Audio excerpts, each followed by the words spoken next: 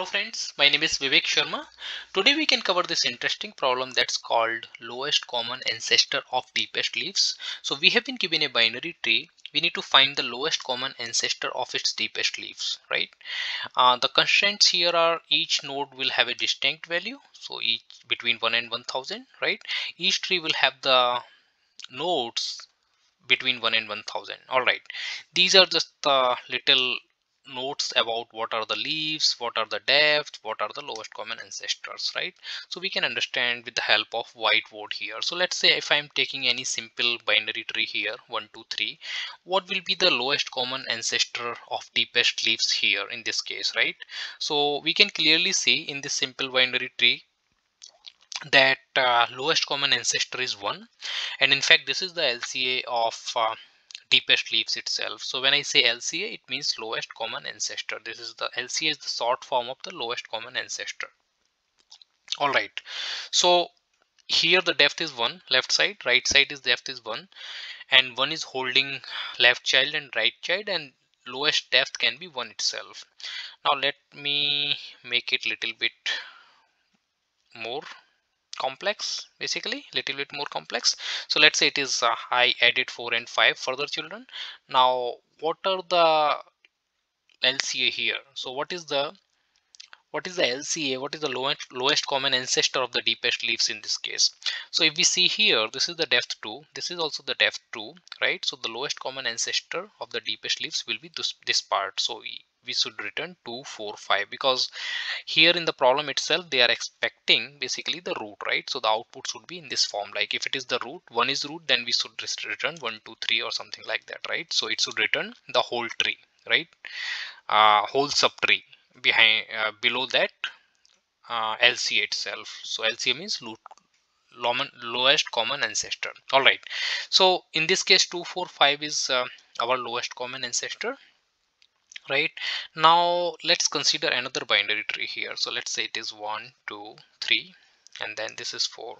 Okay.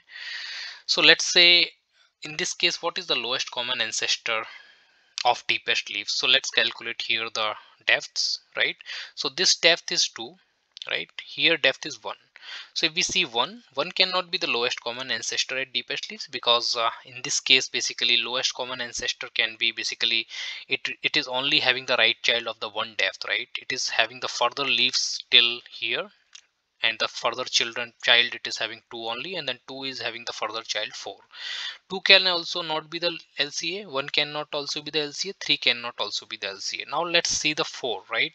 So 4 is having at the lowest part right? And we consider the lca part it is having left is null right child is null. So in this case 4 will be our lowest common ancestor of at the deepest leaves. Because the condition here is or basically we can say the circumstances or the scenario is this because there is 4 does not have any child. Let's say if I make it 5 then in that in that case 4 will not be the LCA in that case 2 will be an LCA right? So why it is so? Because 4 in that case will have the lowest depth. It will still have the depth like 2 for 4 i mean so if we come from 1 to 2 it is depth is 1 here depth is 2 if we go further down from 4 to null then it will be 3 right? And also for 5 to null then it will be 3 and this is 2 right? But we consider lca lowest common ancestor of deepest leaves is basically in this case 2 because 2 is having left and right child right?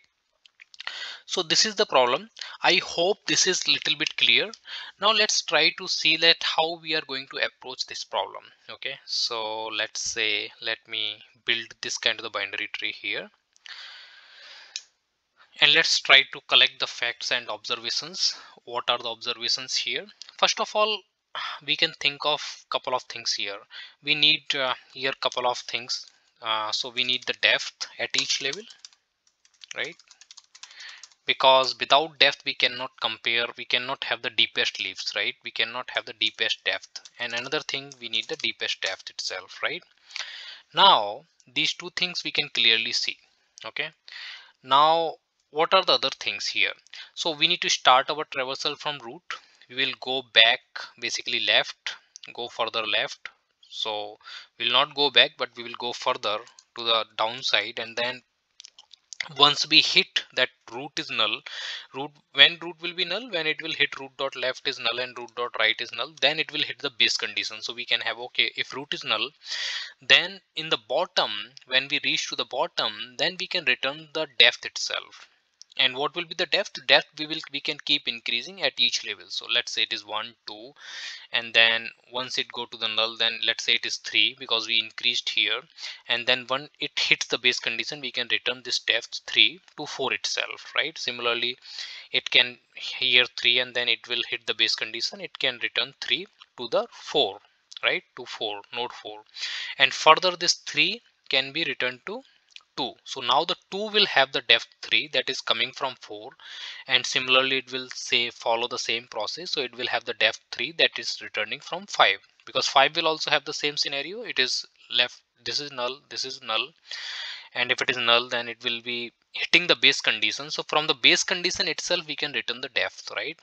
And now the 2 will have basically two cases right? 2 will have the two depths left depth and right depth. And we can check okay if left depth and right depth if they are both are equal to the deepest depth then it means we need to return this LCA so in that case we will go ahead and return root. So in this case root is 2 right so that's how we can solve this problem. Now let's create a couple of placeholders if it is getting too much complex to understand so that uh, those placeholders will help that how we are going to solve this problem. All right so uh, let's say let's create uh, one helper method. Why we are creating helper method? So that we can pass the depth itself. That is zero initially right? So let's say we are returning int y because uh, as we see here on the whiteboard we need to return the depth itself when we hit the base condition okay? So lca at deepest leaves right? All right so let's say this is root here and let's say this is depth. We will make it pretty simple right now and then we will slowly go forward that what other uh, what are the other conditions we need to fill? So let's say base condition right? So base condition is basically if root is null right? Then let's go ahead and return depth itself. Because here we have seen during our whiteboard that once it hit the base condition it should return the depth so that every node will have the depth. Like what is the depth from the left side? What is the depth from the right side? Okay all right very good. So now let's uh, have the left and right side depths as well. So left and right depths. How we will calculate these left and right depths? We will call it recursively okay? So deepest leaves. What it is going to do? It will call the same method again right? Until it hit the base condition right? Root dot left and then depth plus one. So we need to increase the depth at each level right? And right is basically lca at deep Best leaves. Similarly here root dot right. Depth plus one. All right. Uh what need what we need to return here? So basically once we will hit the base condition then we are returning the depth. And that's what we already covered here right? So we are already returning here the depth right? Now in the end once we hit basically the bottom right? I mean left and right we just come to the all the way to the bottom then we need to basically return whatever the maximum out of left and right right? So let's consider this case right? So if it is having one two four and then three right? So whatever the maximum to maximum is there that base condition will return three in this case one two three and then this three will return basically uh, 4 node 4 will return 3 and how it will return 3 it will decide okay what is the maximum out of 3 and this is also let's say this is also hit the base condition and it return 3 right?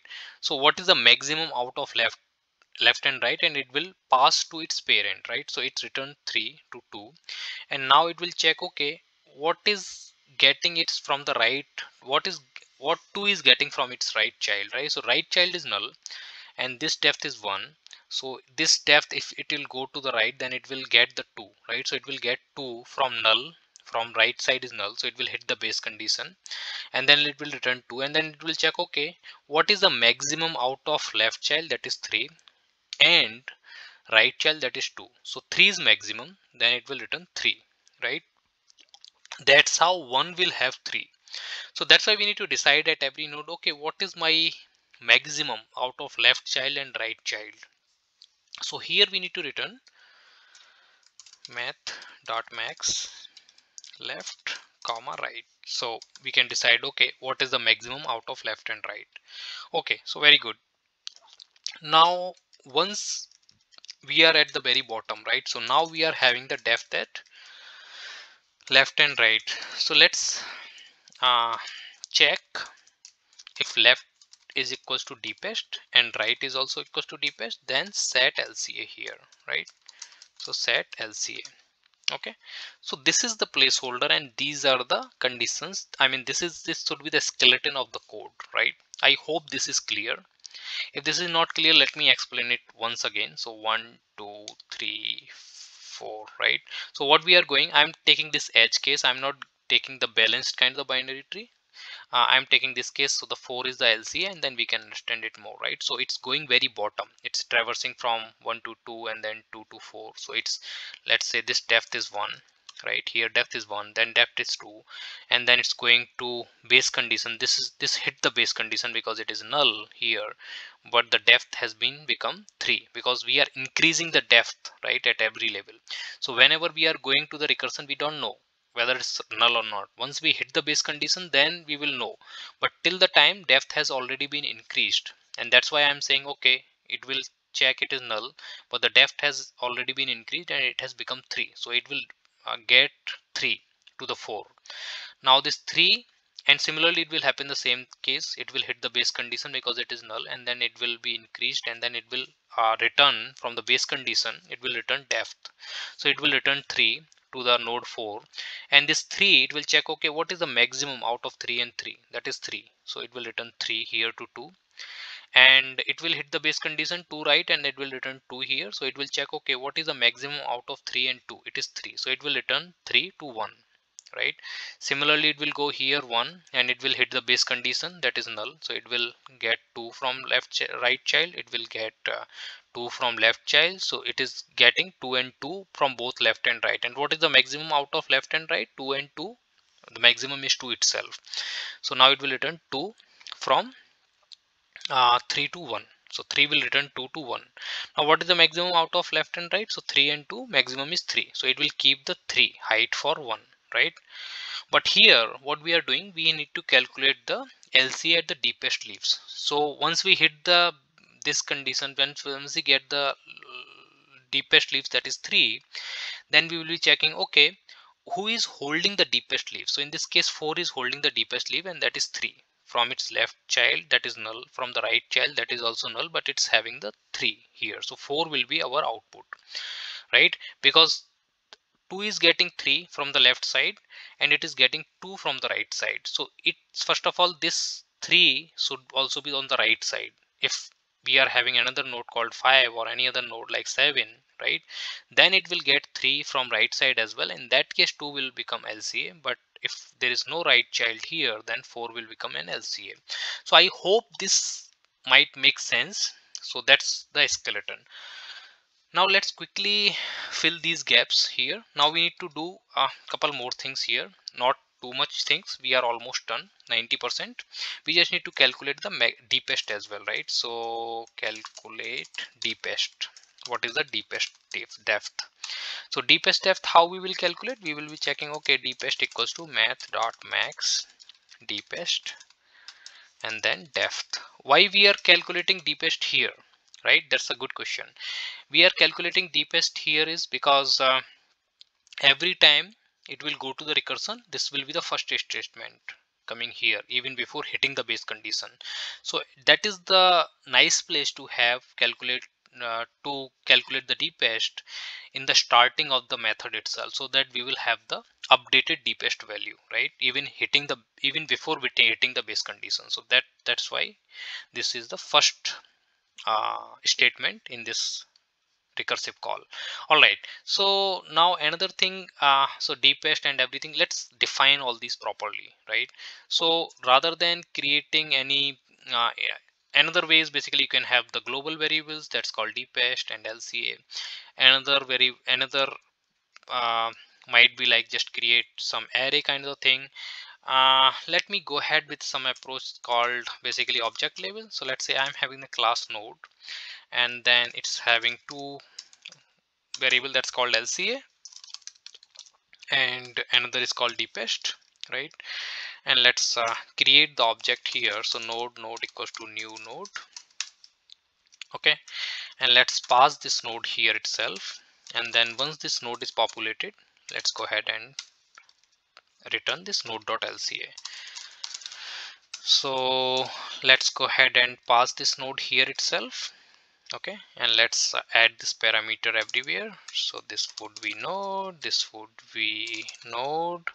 Set lca basically node dot lca would be root in this case right? And uh, here so it will be node dot deepest this would also be node dot deepest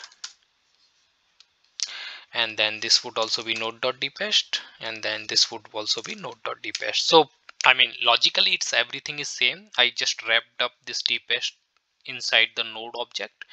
And also I wrapped up basically I created this LCA inside the object called node. That's the only difference. Otherwise it's everything is same. So I hope it makes sense. Let me go ahead and compile and let's see if it is uh, getting compiled. It's getting compiled. Let's uh, check for other cases as well. Let's say 4 5 so this tree is looking like this right? 1 2 3 4 5 so in this case 2 4 5 should be our uh, output. Let's go ahead and verify. So 245 is this. Very good. Now let's see for only four right? So this is our tree here. One two three four. In this case we have seen during whiteboard session that uh, four should be our an LCA so four is our LCA so that's good. So looks like uh, whatever we discussed during whiteboard that uh, working as expected. Quickly the time complexity wise it will be order of n. Space complexity would also be order of n because uh, we are traversing each and every node in this process right? Let's go ahead and submit and let's see if it is going to work. So this is going to work right? So that's not an issue. Now very quick summary just to conceptualize this again right before ending this video. First of all uh, this is the lowest common ancestor of the deepest leaves. So when we talk about the deepest leaves we need to basically go deep right? Go deep means go to bottom. And to go to bottom basically we need to calculate left depth and right depth. And that's why we are having this skeleton. We are uh, having here the method that's returning integer. And we are having the left and right side. And we are just checking okay and uh, so once we go to the left and right we are having another variable that's called deepest that will keep a track of max whether what is the maximum depth right? So we are having here the depth that we are keep increasing at, at each level and we are keeping track okay what is the maximum deepest depth by comparing with the depth itself. So once we know the deepest depth right? We are comparing our left and right side. We are comparing uh, left and right side whether it's equals to deepest or not right? So in this case like it is one one and then it will hit the base condition then it will be two. Two will be returned here. Two will be returned from here itself. Similarly two will be returned from here itself. It will hit the base condition it will return two to three. And then three and two they will be returning two to one. So now one will have basically left and right that is 2 right? So it will be returning it will be getting 2 from left side it will be getting 2 from right side itself. So now one will head the uh, and already we calculated okay deepest what is the deepest left? That is 2 because with the help of this statement and it's even calculating before hitting the base condition. So that's why i'm saying even if it is going to the null that it's going to return the depth itself right? So it will be having two and it will be checking okay deepest is also two left and right is also two. It means it is the lca right? So that's what exactly we are doing right? And another edge case where we were having four here right? So one two three and then four. This is also working in the same manner right?